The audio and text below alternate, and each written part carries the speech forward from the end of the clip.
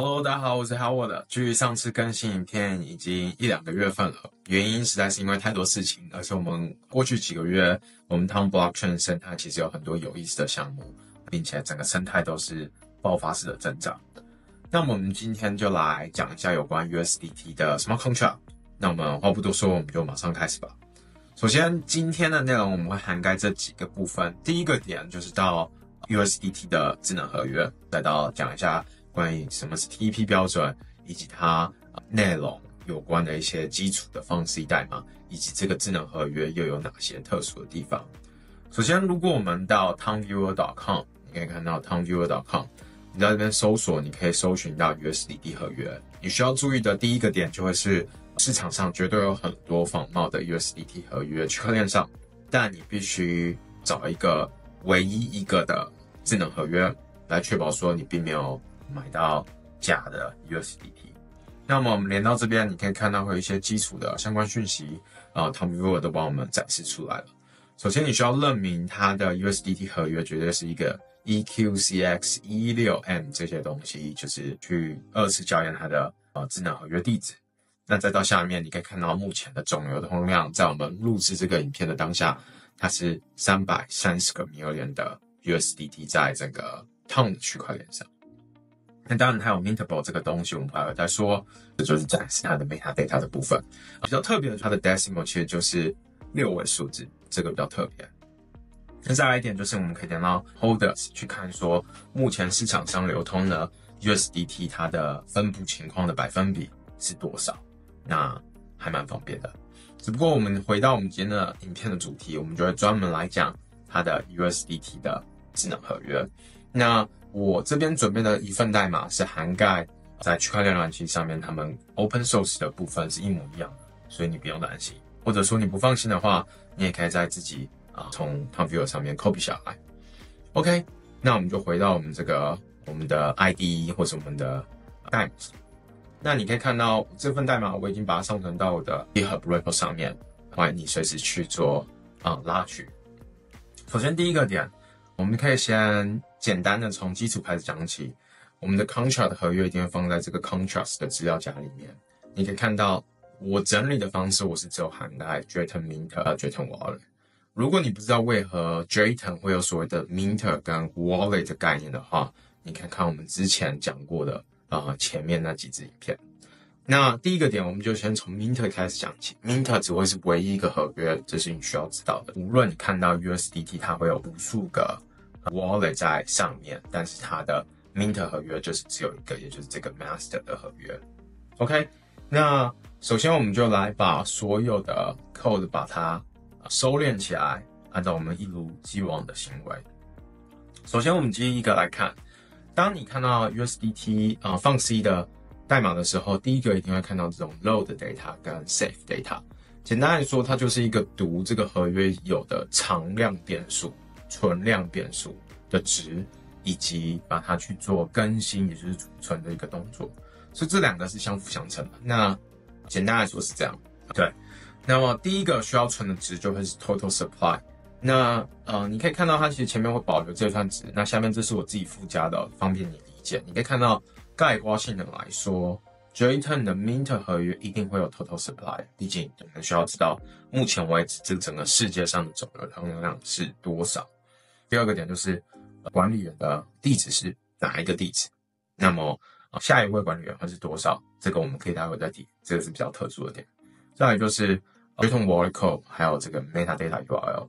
这个部分其实是在 Jton 的这个 Standard 上面会有包含。如果你看到的话，它在这边会有含概括性的有提到说另外一个 TP，抱歉，它在这边会有一个 Token Data。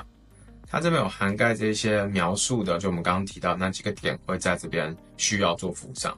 举例来说，你的 amount 啊，一些细节可以看到，这也是为什么无论你的 j a t o n 如何去做魔改，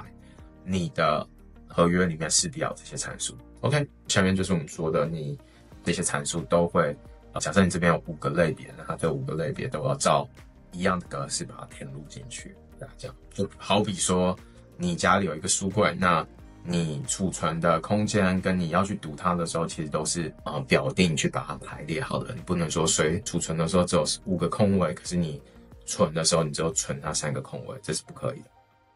那下面这个 private function 就是说它是一个比较一整坨的一个 function 在这边。那它待会也在后面去做呼叫。如果你在这边做搜索的话，你会看到它在下面有出现过另外两次。OK。那所以我就不先多做介绍，只不过我们就可以往下来看到所谓的 man。那任何一个放 C 档案，它都会有这个 receive internal，相当于是 internal 的 message。多提一点，就是 Tom blockchain 有所谓的 internal message 跟 external，就是内部跟外部的消息。那外部消息我们之前的影片有提过，所以你可以去 follow 啊过去的影片。OK。那在这边，它只有放三个参数，任何的内部消息其实都会有四个参数，参数它可以使用，但它这边只有放三个。只不过这个有点太细节，我并不想要在这边花太多时间去讲。那我们可以先简单来看，它其实就按照一般的手法，它会把所谓的一整个 message input 的整体的 message 先把它 paste 到，把它一整坨拉鼓的一整坨的，sorry，把它贴到一整个 slice。那这个 slice 它会去读它的 flag 是多少。那这个 flags 呢，为什么会如此重要？因为是下面会取决于帮助我们判断这一笔当前传入的消息，它是不是已经被返回。那这个概念可能比较特别，就是在 Tom 上面独有的，它的消息是可以被反弹，只不过它反弹的时候会有一些相对应的处理手法，只不过我们这边先不多做介绍。那么就继续往下一些标准的去处理这些 message 的 input。去解析说它的 OP code 还有它的 query ID 是多少。那么处理完 OP code 跟 query ID，你就可以使用我们前面说的，就是 load data，把这个合约它自己的一些常量变数把它读出来。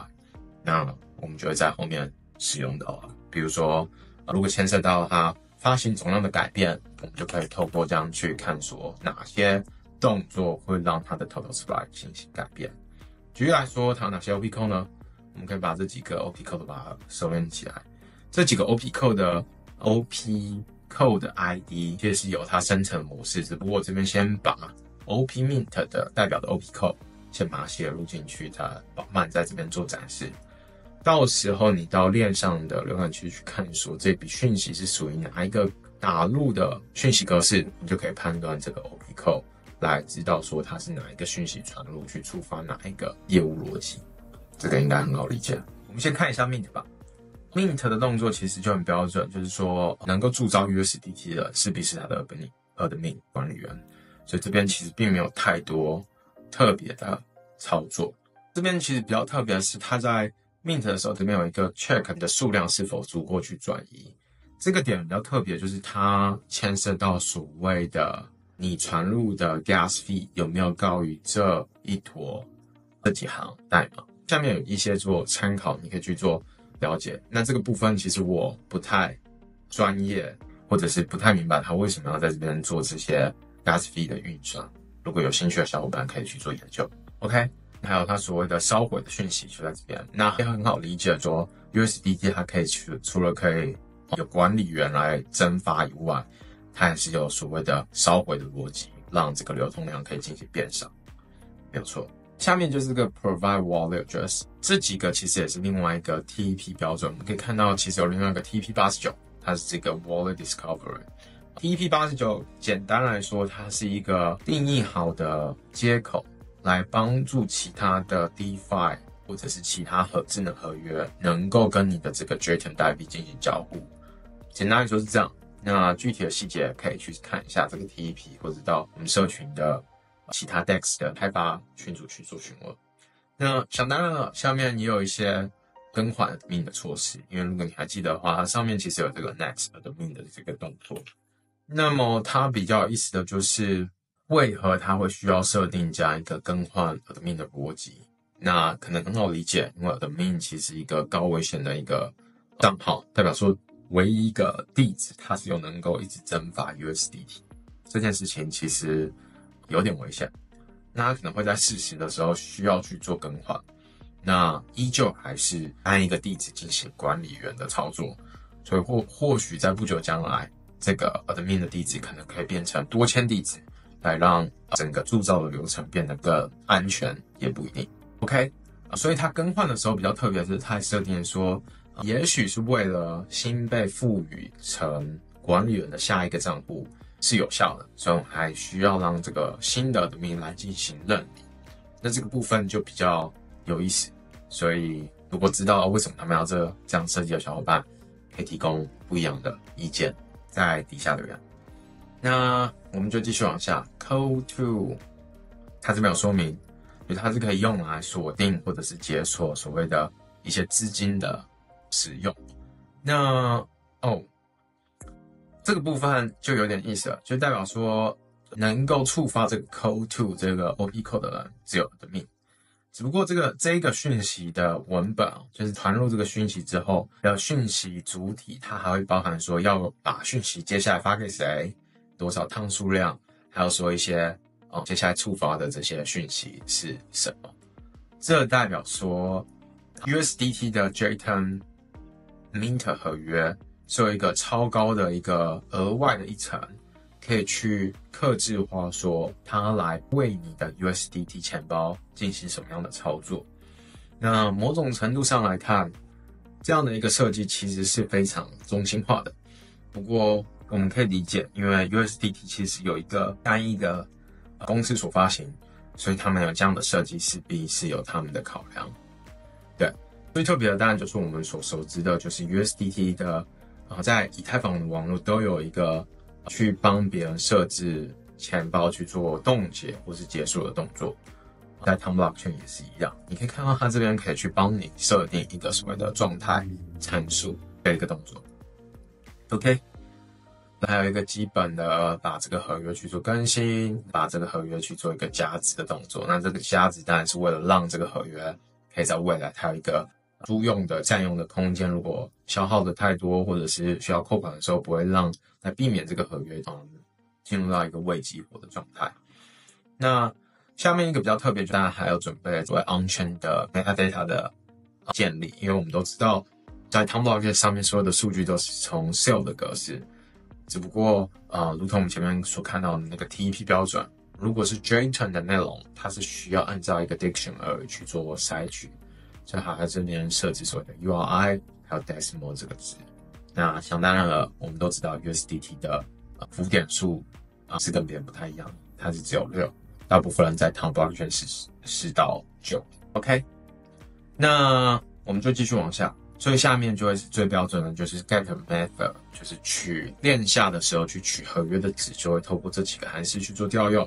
那你可以看到 get JSON data，这个是我们 p p 标准会有的。那你可以看到它这样返还之后，你需要。返还的，按照 TEP 标准所上面所说说的，它是需要先它的总量，然后是否可以被铸造，还有它的管理员是谁，它的卷卡等等的这些讯息，啊，必须按照顺序的去反馈，毕竟是标准。下面就是所谓的 get wallet address，还有我们前面说到这个 next admin 的这个函数，那需要注意的就是这一个 get 的方法就不是在 TEP 标准去。拥有的，所以是他们额外去啊，在标准之上 j t o n 的标准之上额外添加的。OK，那概括性来看，其实它只需要 USDT 的 Master 合约，它其实特别的就是这些改变管理，然后领取管理员，以及它这边额外可以去做的一系列复杂操作，也就是超级管理员可以帮你去做啊一系列特殊操作的一个情形。那么我们可以继续往下看到 Jeton Wallet。前面我们说的，它可以帮你设置 a d s 这边就是最有意思的地方，或者说比较特别的，就是你所持有的 Jeton Wallet，也就是你自己的 USDT 链上余额地址，它是有一个状态值可以去做设定的。你看到这边说，如果零什么情形，如果一会是什么情形等等的，那这就是前面说的这个管理员所保留的一个权限。那么也很合理，因为有一些情况下 a d d e r 是有能力以及他们。是必须遵从各国的法规去冻结某一个人的 USDT 地址，这个是可以理解。那么下面一个正常的 j e t Wallet 也会有的值，就是所谓的 Wallet，还有它是所谁所持有，以及它的 Master 合约地址是谁等等的讯息在上面。那这部分我就跟我们比较所熟知的 JSON Wallet 没有太多的不同，它可能也有一些打包好的一些方选，比如说如何把 JSON 转出、接收，还有燃烧等等的，这些都是很标准的一个动作。没错，那你可以看到一个正常的 JSON Wallet 它会有 Transfer。还有 internal transfer 这几个动作，还有它可以烧毁，以及这比较特别，就我们前面所说的，就是设置这个状态函数的，那你看到这边有一些判断方式啊，可能会把先把这个 query 先跳过，可是你可以看到它这边唯一一个假的判断式就是很明显的，只有 j a t o n Master 上面的这个组合约代币的组合约能够传入这个消息。所以这也是为什么我们前面说 Mint 的那个合约是由管理员去做一个克制化的调用，来从 j a t o n Master 传讯息到这一个独立的 j a t o n Wallet address，它才可以在这一行呃放弃代码而通过，大概是这样。那么下面你可以看到 Get JTM 呃 Wallet Data 也是我们呃 TP 标准会有的一些啊参数，所以我这边就不多说。对，下面就是所谓的 Get Status，就是来判断这个合约是。什么样一个状态？OK，那这个影片我就讲的比较快，而且讲的比较冗余，但是我希望可以概括性的帮助你们了解 USDT 的合约，还有帮助你们从啊从头到尾去看一遍啊 USDT 的 Fungsi Code 是什么样的信息。那么如果你有问题，你就可以在底下继续留言，或是到我们的电报群里面去做询问。今天的影片就先这样，那我们下次见，拜拜。